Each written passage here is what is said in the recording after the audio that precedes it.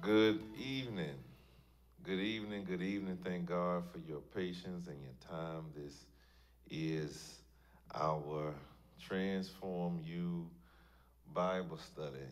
Our Transform You Bible study, where we are hoping and praying that God uses this study of His Word to transform your life, to transform your heart, transform your mind. I was talking with our founder and good brother, um, Dr. Brian, who sends his love and wants to share his hellos to each and every one of you all.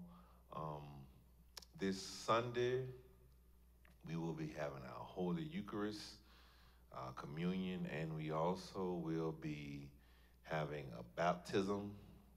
This Sunday, we'll be having a baptism, and immediately following service, immediately following service, we we will be we will be um, having our back to school bash, our back to school bash, where we will be in partnership with Microsoft and PETA, of Kush, um, um, Baltimore chapter of Kappa Alpha Psi Foundation, and several the Steve and Marjorie Harvey Foundation, um, um, several other folk are part, partnering with us because they love Baltimore and they love ET Nation.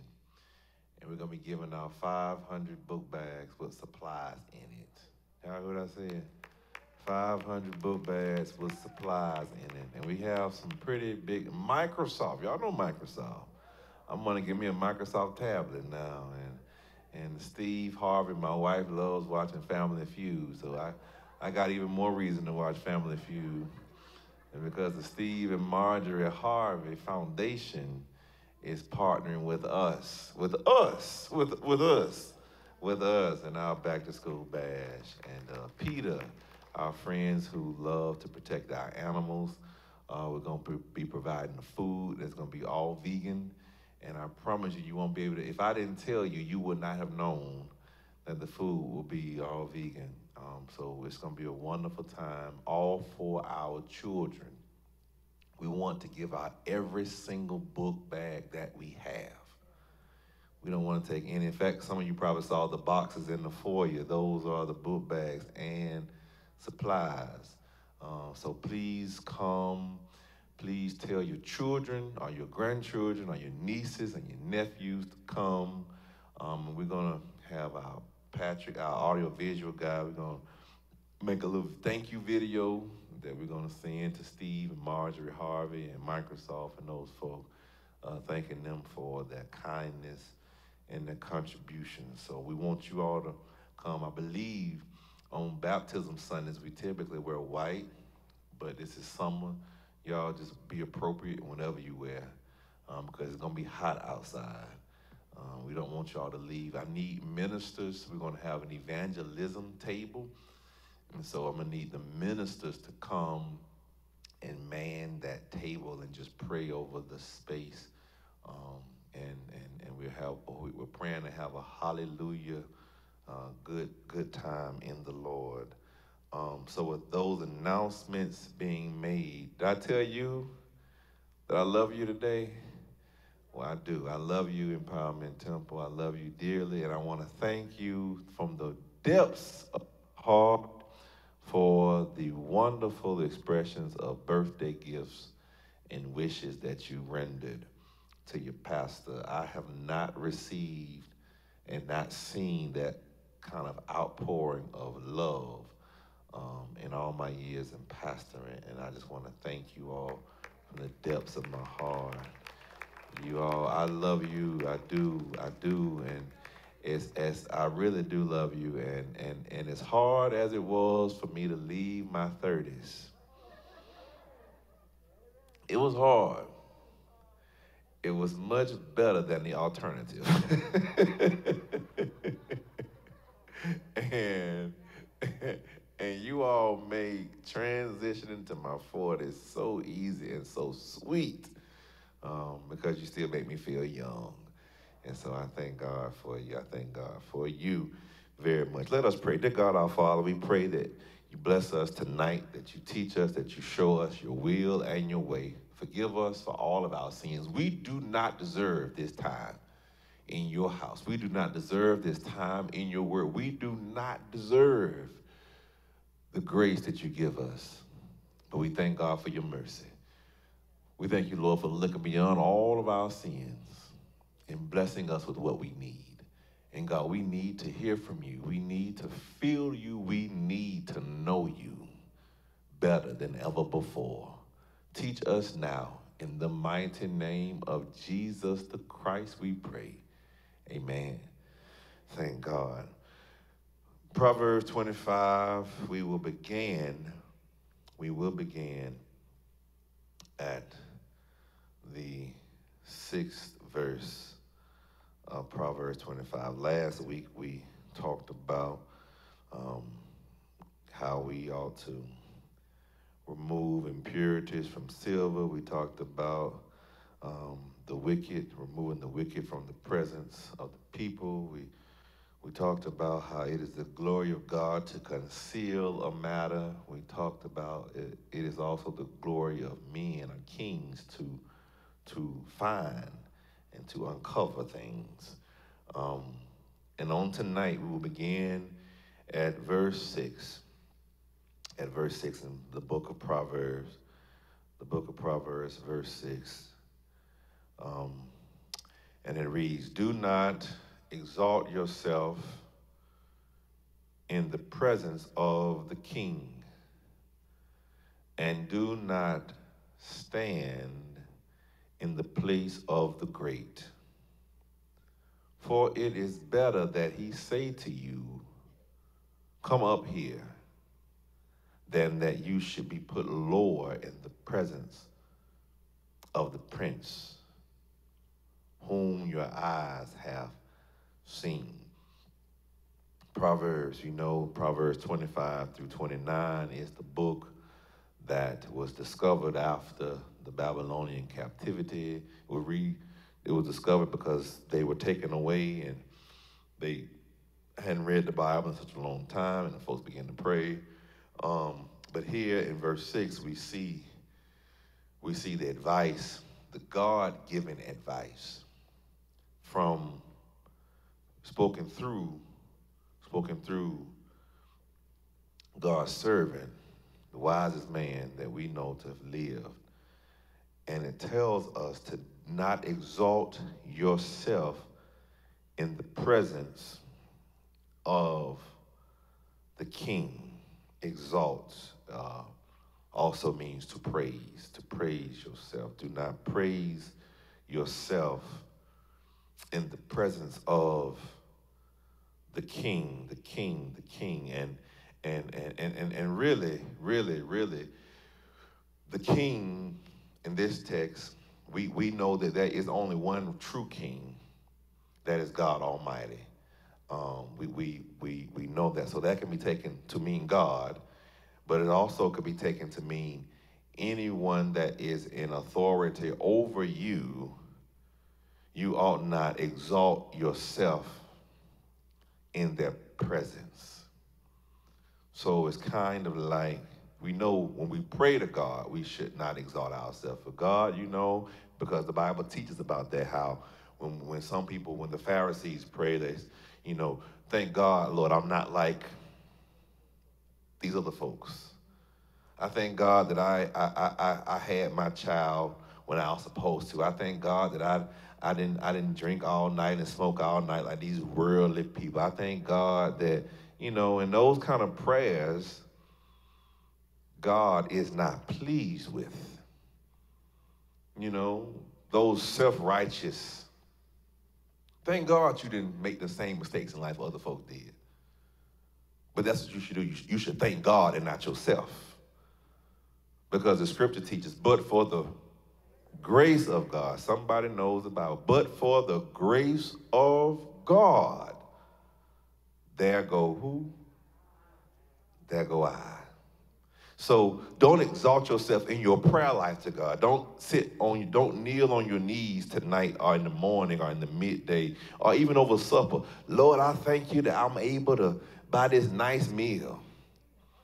God, I showed did a good job on this macaroni and cheese.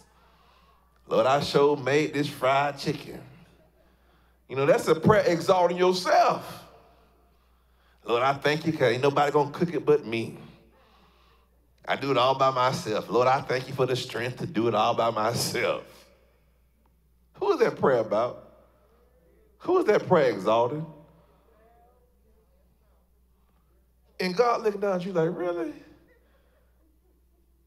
Really? You're exalting yourself in your prayers. And the Bible says in Proverbs, what chapter is this? 25. What's the verse? Do not exalt yourself to who? The king.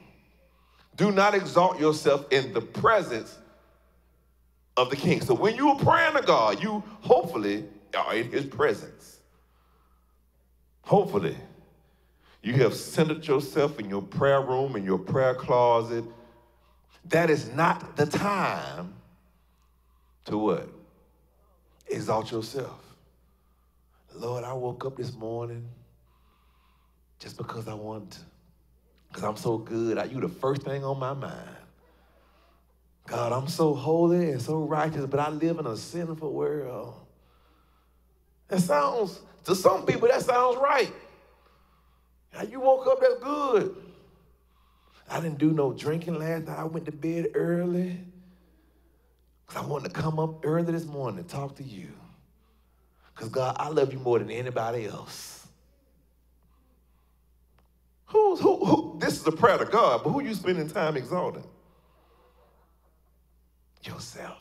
And the Bible says, Proverbs 25, what verse? Do not what? Exalt yourself in whose presence? The presence of the king. And so it's important. God wants us to pray.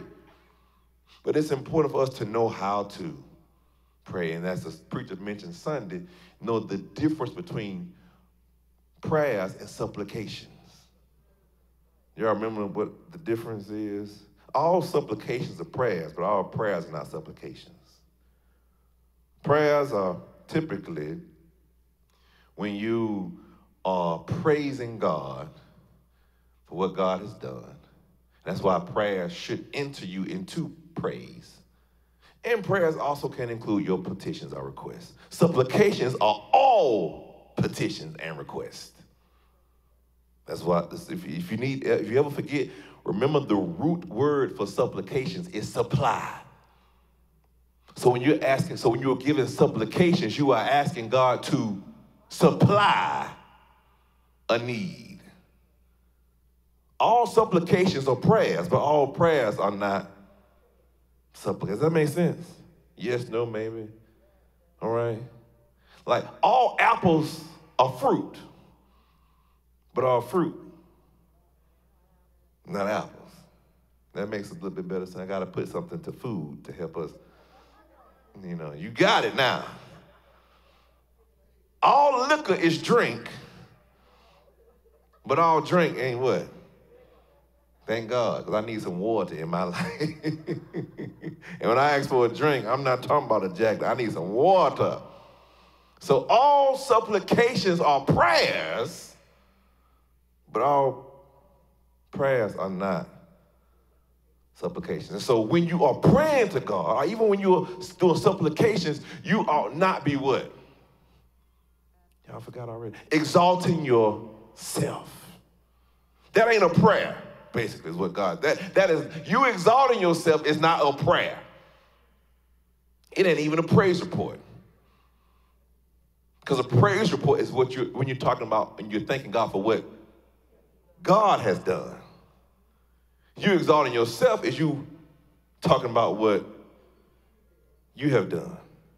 All right, we got, we good on that. We good on that. All right, thank God. So do not exalt yourself in the presence of the King, and do not stand in the place of the great. Why? For it is better that he say to you, Come up. So, so, so, so, so, so, so, so in this in this text. Do, do not, do not, do not stand in the place of the great. Do not stand in the place of the great. Um, thank you, Holy Ghost. Um, college campuses, mostly HBCUs, Morgan State, um, Tuskegee, North Carolina A&T, other places. They, they, they, they have these things called um, stones, right? Y'all know I'm talking about? Well, I think they call it. I went to a PWI, so y'all help me out on that. But I'm from Tuskegee. And, and every Greek organization had their own stone, right? The Greek letter or organization etched in stone. And if you were not a part of that, you couldn't stand or be on that. I'll make it even easier for you. Uh, football, um, Dallas Cowboys. In the center of their stadium is what? A star. The highest sign of disrespect is for what? Opposing team to stand on the star. I don't know who's a Cowboy fan in here. But that's that's that's only a place for the Cowboys, or the Ravens uh, on the, in the center field, in the, in the 50 yard line. Only, and if you do stand there, that is a sign of what? Great disrespect. Like you can really get hurt for doing that. And in Alabama, Auburn has these trees um, these trees. I believe they were magnolias or something. And at the end of every game, when Auburn would win, I hate Auburn, by the way, um, they would roll the trees in Toomer's Corner with tissue, just disgusting. They would take toilet tissue and throw them and roll them on the trees. But one day, this man, Alabama fan, um, he proceeds to poison I heard about on ESPN. Poison the trees. Yeah. And he, nobody knew about it. He called into, y'all heard of Paul Finebaum? It's a sports show. He called into the Paul Finebaum show. And after Auburn had just beat Alabama, you know, I'm an Alabama fan. And he said, Yeah, I know y'all celebrating the game, y'all beat Alabama, but I want y'all to know something. And Paul Finebaum said, What is that? He said, In a couple of days, those trees gonna be dead. And he said, How do you know the tree's gonna be dead? He said, Because I put some poison in the root of the trees. And the man, and Paul Finebaum says, you can, you can, look, you can look it up, it's on YouTube. Paul Finebaum said, I'm pretty sure that's a crime. and the man said, probably is.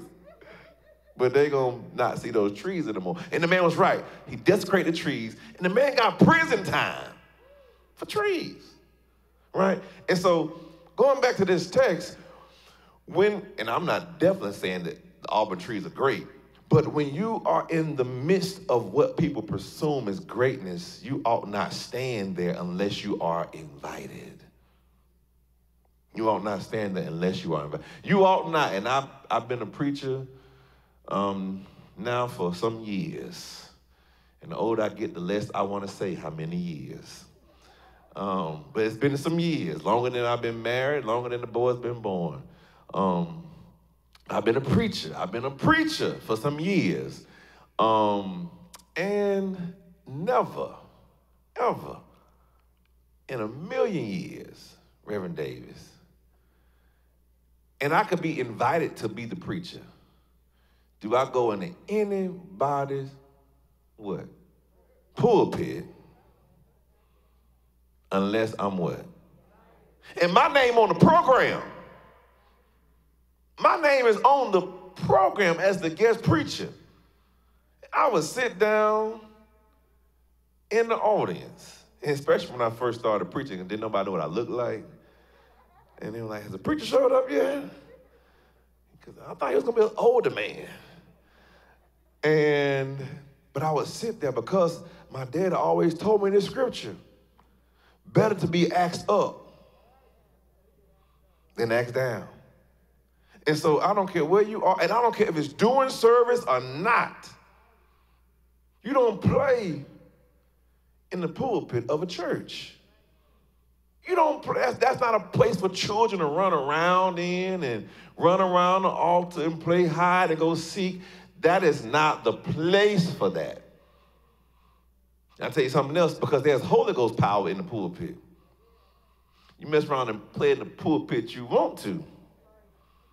Like your pastor you two, and 15 years later you end up being a preacher.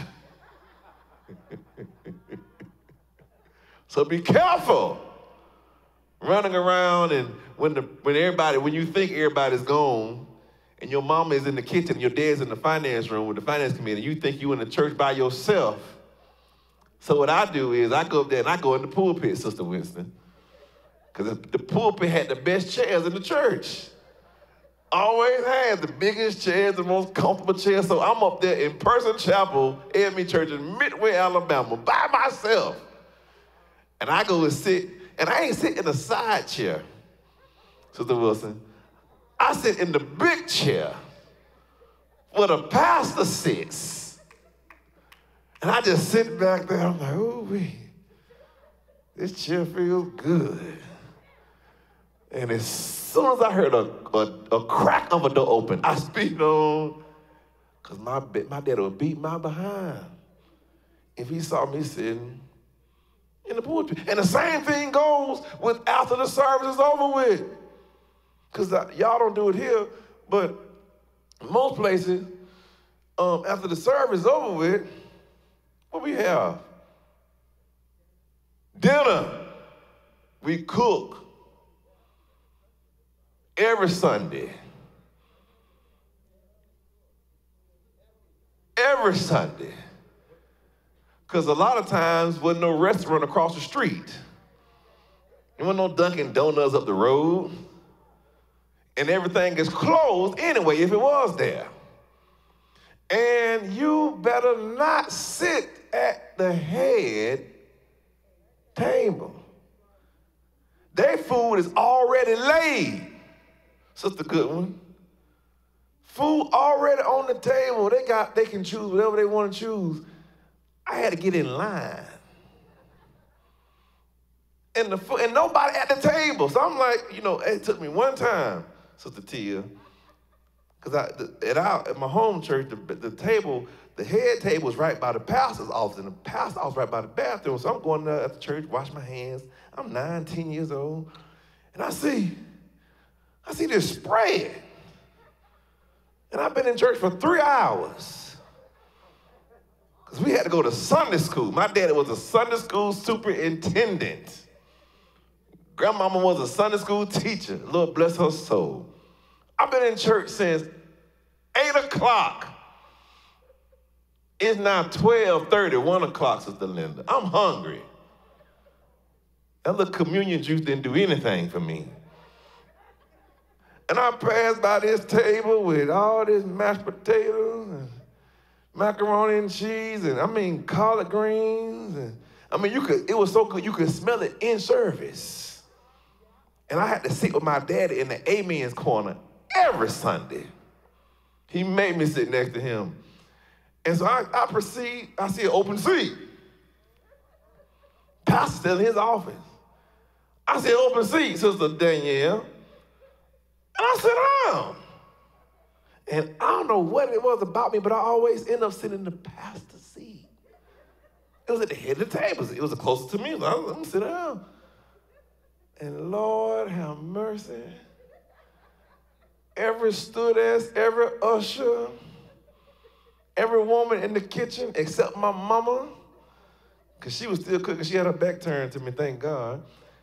But Robert, they called me Little Robert, because my dad was Big Robert.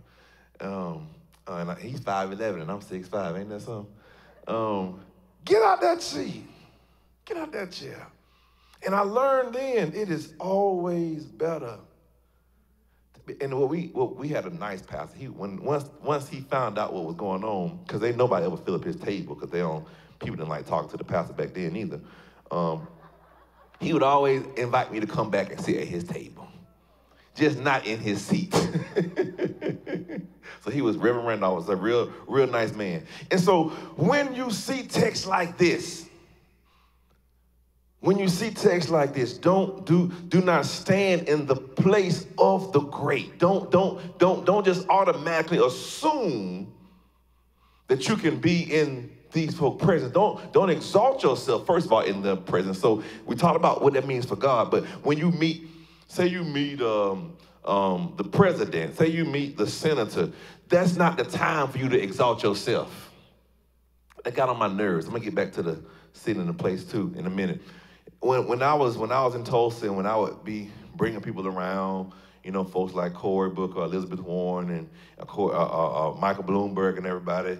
It, everybody kind of, you know, and I get it. They were shocked to meet him, um, but people kind of felt like they had to impress the folk, right? Well, you know, I'm this, and I'm that, and I'm like, I don't ask you. And people feel like Reverend Breckenridge, because of who they say they are, you got to bring them inside. But I'm like, these people didn't invite you. You know? So you, we, we should not feel like we have to exalt ourselves in front of folk we think are great. Because I promise you, if you're that great, they already know about you. They already know about you. Um, and in this text, the next part it says was, and do not stand in the place of the great. When you see places of prominence, when you see places of prominence and people in position of prominence, it's, it's, it's fine to, to see them, but don't feel like you automatically have VIP access. I don't care how well you know them. I don't care how well you know them. And we, we, we, we, we've had some important people here. We're going to have some more important people here. I need you to know, just because folk don't sit down and dine with you, don't mean they don't fool with you, but sometimes folk just need a break. They need, they need a break. They need a break. They need, I need a break some. Sometimes I don't have anybody back there. I just want to eat by myself. Because I eat a little aggressively. And I don't want everybody seeing how I eat. Nothing against you. But I'm still, I can't, I can't, I'm still learning how to pull my crab claws. Right? I don't want you seeing me fumbling through crab claws and lobster. I don't, I don't need you to see that. Right? And so, and so give people a chance to invite you up versus automatically coming in. You, you, you've, you've seen that, you've had that neighbor, that bruh man from the fifth floor, that you don't even invite in your house, but because you open the door to say who is it, they feel like that was their invitation to come in your house. And you have to find a nice, nasty way uh, passive aggressive way or uh, in Baltimore, y'all don't do anything passively. Y'all just say, get out my house. you know. Um, because I didn't call for you. You know, you, you, you, somebody, somebody, somebody coming over, you watching the game, and say, what you doing watching the game? Let's, what's on TV? Let's watch it. I didn't call you to come over to my house to watch the game. And that's why sometimes people don't answer your phone calls. Because they know if they tell you, if you tell them you at home and you're doing something, guess what you're gonna get in the next five minutes?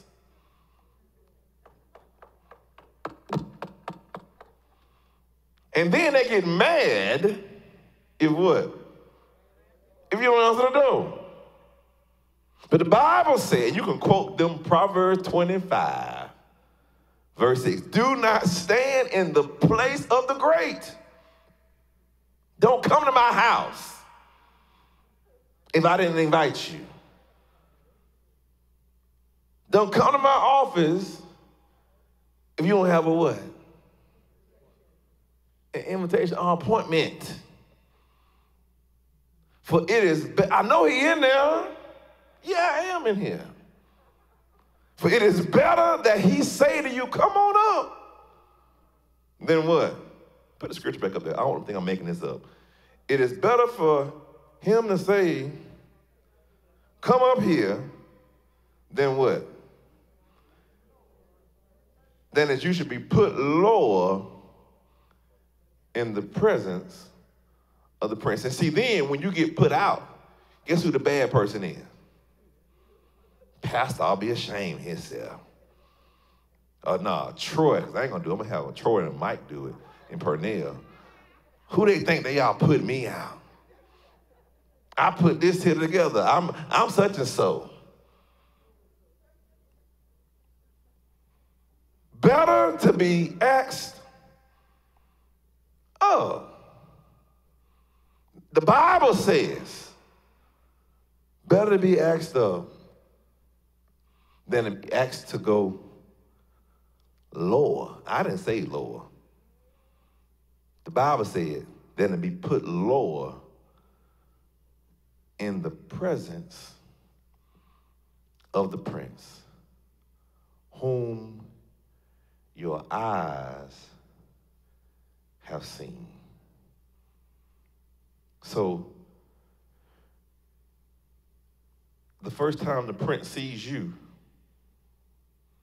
is you being kicked out of the backstage or the VIP room because you went somewhere that you had no business being. And instead of the prince saying, hey, who was such and so? Bring them back here. The prince is watching you being escorted out by security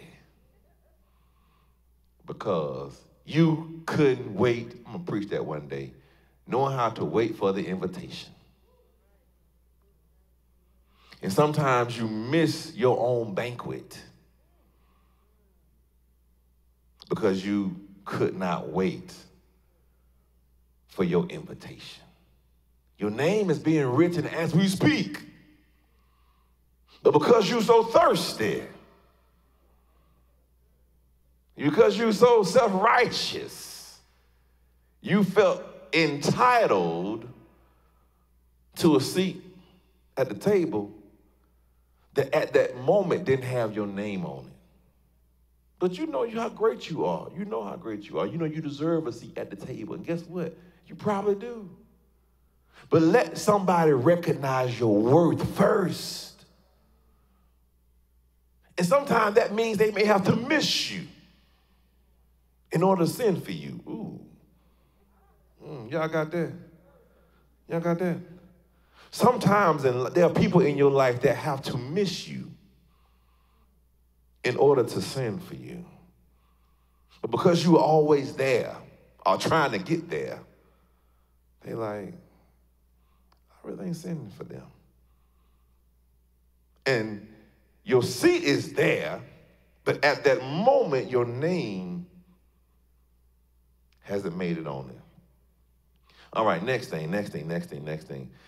Because notice the progression here. Notice the progression. Notice the progression. Last week we talked about removing dross from silver, um, removing weakness from around you, and, and those folks who, um, um, and, and, removing the wicked from the king's presence, and his throne will be established forever. And don't boast about yourself before the king. That's the first part. Don't exalt yourself in the presence of the king. Don't try to brag about yourself to get your name on the invite list.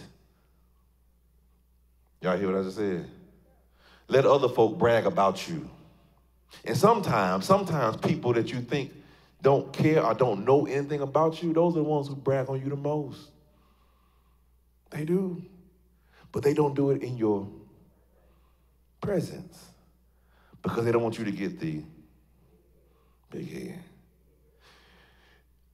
I'm going to say this, I'm going to go back to this text because it's very uh, relevant.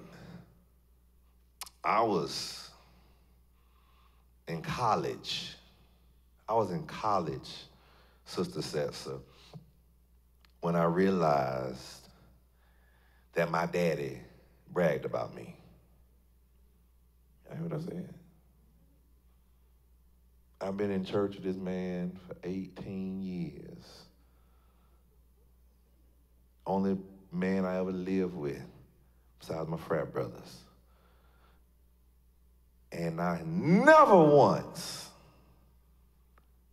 ever once, ever once heard him publicly commend me for anything. Ever. Ever. Right?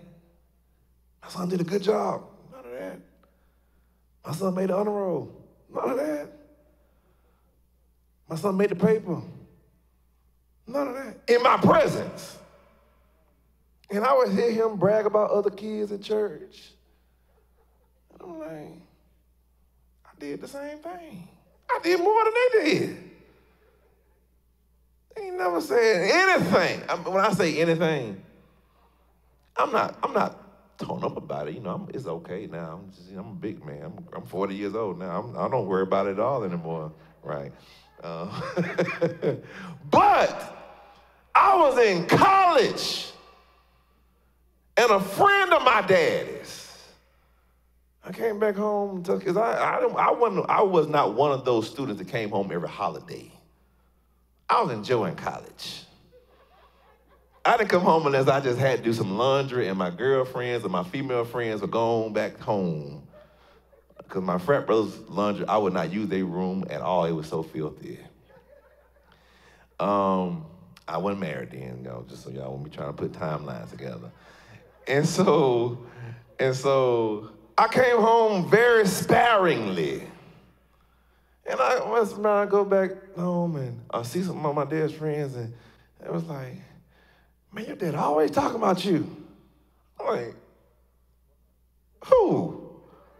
you, who, who daddy? no, I mean, every time I look around, he talking about what you doing in Tuskegee, and Alabama, and doing this, doing. I'm like, who daddy? Is that your name Robert Turner? And I say, yeah, your daddy Robert, yeah, your daddy always bragging about you. And I talked to my mom about it. She said, yeah, baby, you've been doing it all your life. I said, oh, who life? I said, y'all got it. Y'all punking me. She said, no, Robert, your daddy, your daddy brags about you all the time. He just don't do it in front of your presence. I Like, why not? I want to hear it. He said, because your daddy wants you to stay humble, son. I'm like, I don't want to tell you what I say after that, but sometimes, sometimes the people that tell you the most behind your back talk about you the worst. Sometimes the folk that you don't hear anything good from about you be the main ones your biggest cheerleaders, right? And so you don't have to exalt yourself at all because the people that know you already know. And people that don't know you, they'll find out. If they don't, who cares? Because you you you shouldn't do your resume when you built your resume from zero to 35 or zero to 45 or zero to 55, you should not have built your resume so somebody you met two weeks ago can be impressed with you. You know what I'm saying? You didn't go through high school or the college. You didn't commit yourself to further studies for somebody you meet at a bar to buy you another drink. Right? Or for some man to hold you in high regard, or for some woman to want you to be her baby daddy. Then you got more problems than you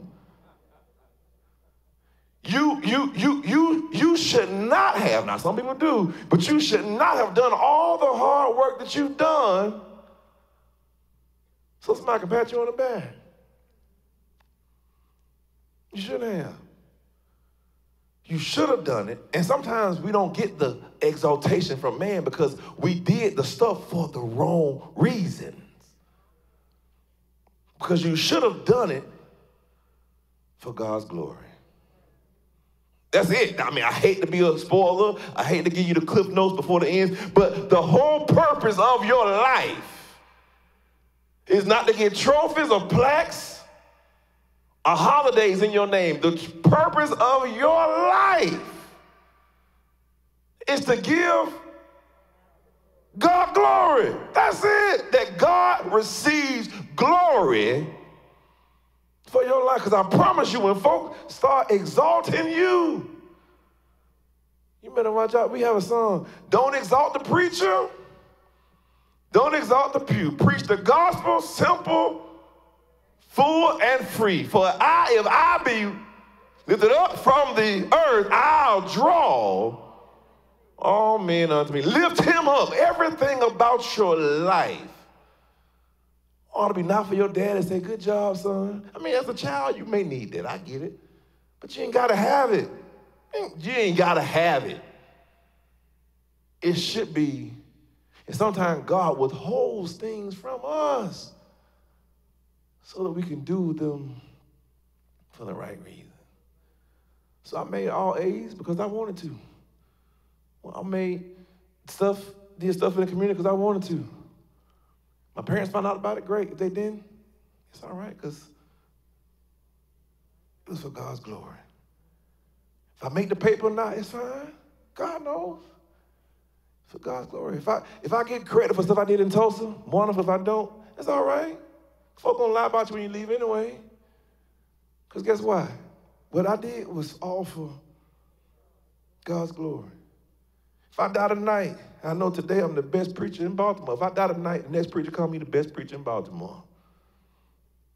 It don't matter. Because everything that God has given me to do, I ain't been perfect in it, but I've tried to do it to God's glory. And that's how your life ought to be. You, you can be fired tomorrow your, your, rec, your, your evaluation can be all ones. I want to fight somebody now. I ain't never got a one in my life. I'm put this in my personnel file. I'm gonna write a response to this. I'm gonna have a, have a hearing my union boss, Mr. Troy Tigno. You ain't gonna show me I'm gonna get ones.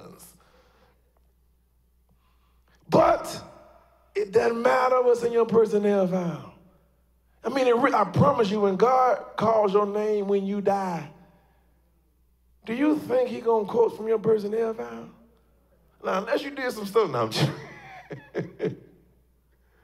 but it should be all of his glory. And so, verse 8, verse 8, verse 8 talks to us even more so about how how how how when we get into it with people because we want to get stuff we want we want to sit at the head table we want to get all the credit we want to get all the exaltations and when we don't we want to we want to sue somebody. What, is, what does verse 8 says do not go hastily to the court to court.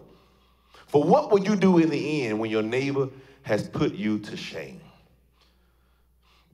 Now the bible doesn't say you don't go to court but the bible says don't go hastily. Sometimes the court of law is necessary, but it should not be the first resort for men and women of God. It shouldn't be. It shouldn't be. And the New Testament talks about that too, how Christians ought not be suing each other in the court.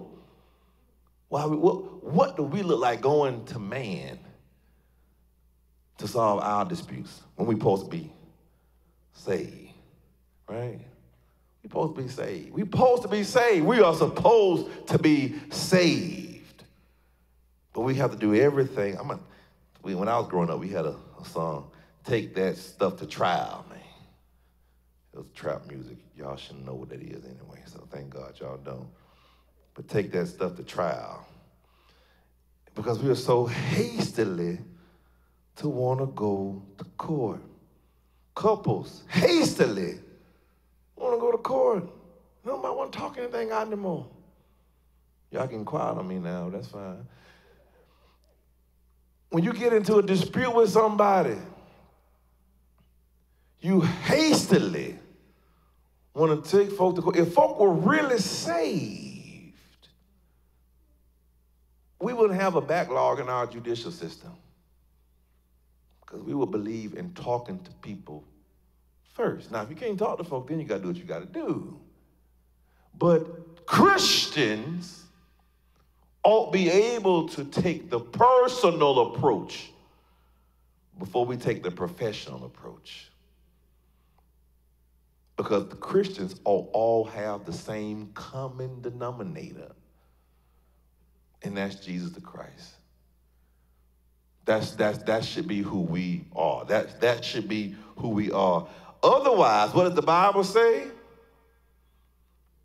Your neighbor has put you to shame.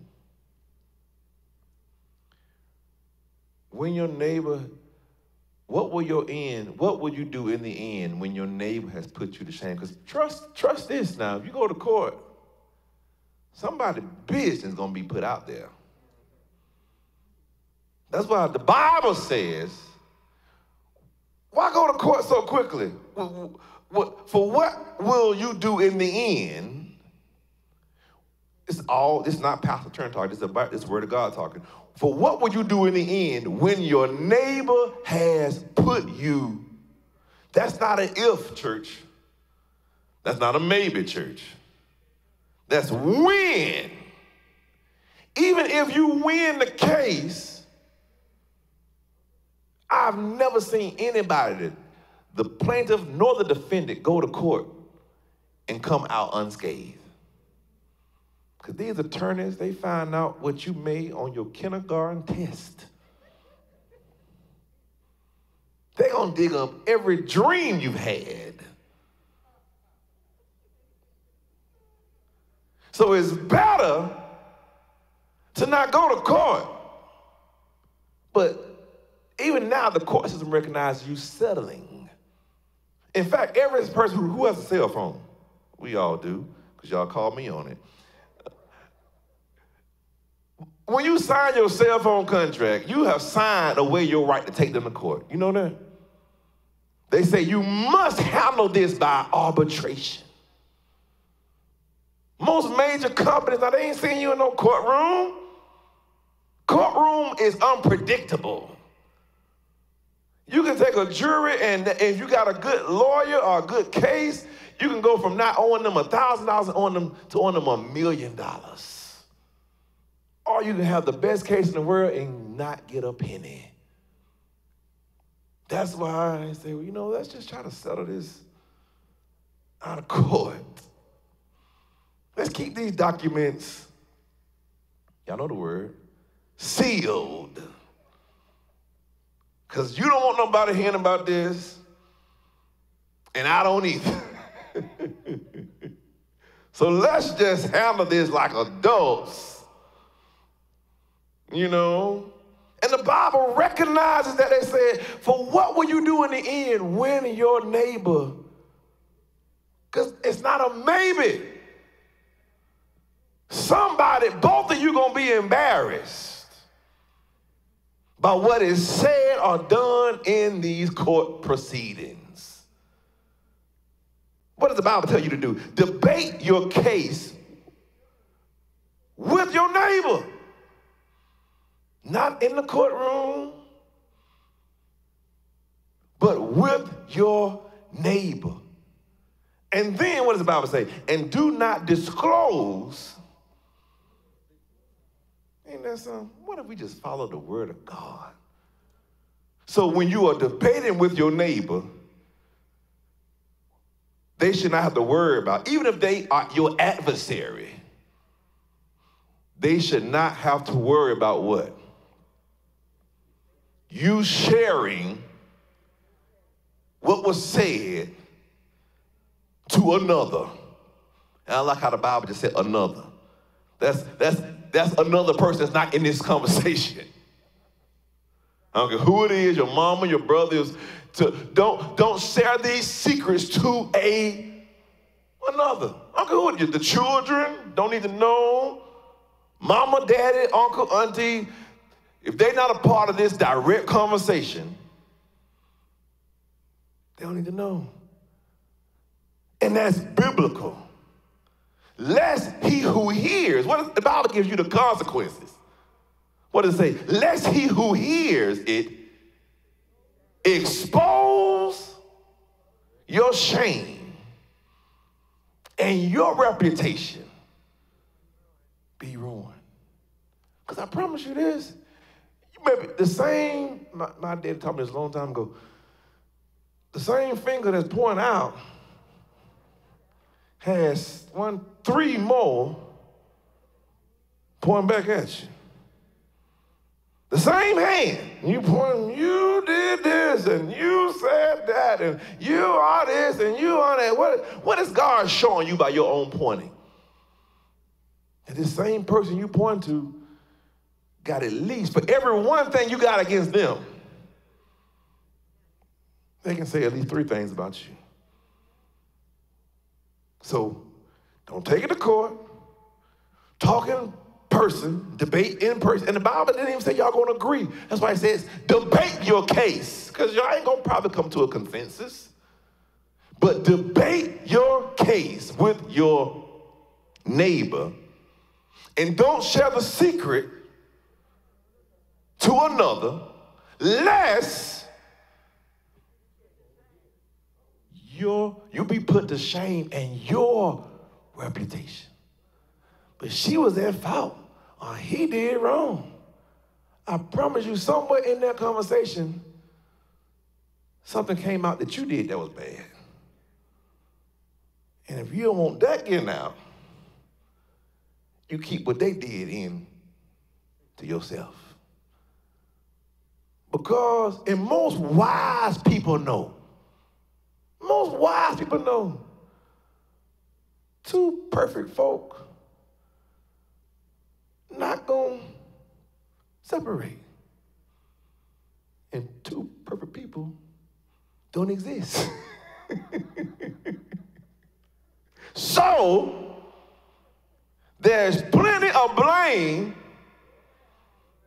So don't you be listening to these folk when they saying that, yeah, girl, you ain't do nothing wrong.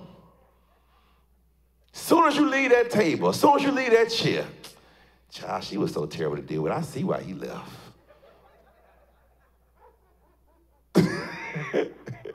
and vice versa. Man, yeah, you sure had a point, man. That was wrong with you. And as soon as you leave, hey, now what's her number again? Folk ain't worth a quarter. But so the Bible teaches if you got something against somebody, you take it up to them. And when y'all finish talking, you leave it alone. And you do what you got to do. That is Proverbs conflict management 101. Well, before any law book was written, God was teaching us how to handle our conflict.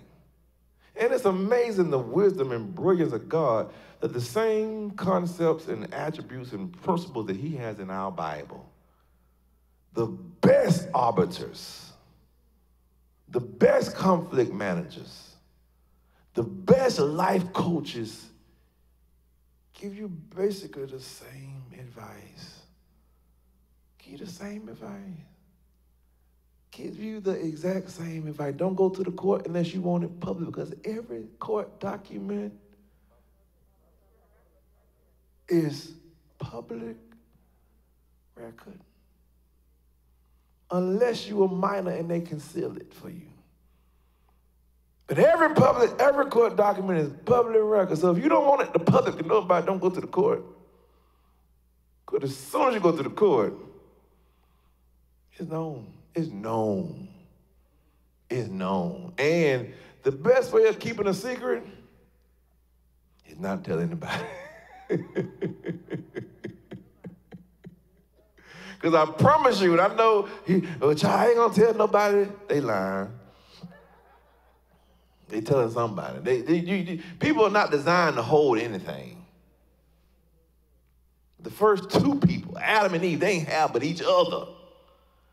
They ratted on each other to God. You know the story. Eve ratted on the snake. Adam ratted on Eve.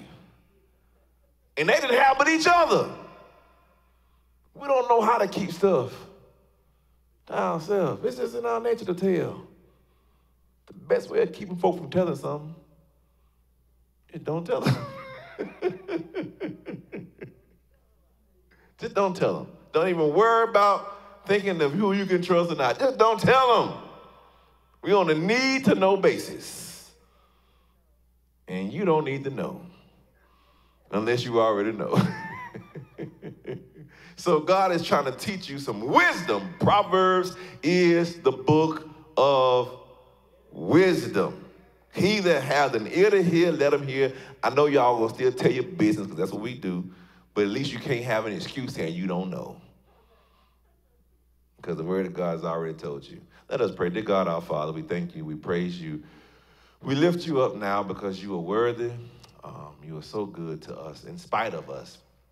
You teach us how to handle conflict. You, you teach us how to handle all of our problems. We pray that you bless us, oh God, to be better in handling our conflicts and handling all of our problems. Bless the offering that we're taking up on tonight. Bless those who are giving on Cash App or Givelify. Bless Cash App at dollar sign ET Power. God, keep us in our prayer life to not exalt ourselves, uh, but to exalt you in everything that we do.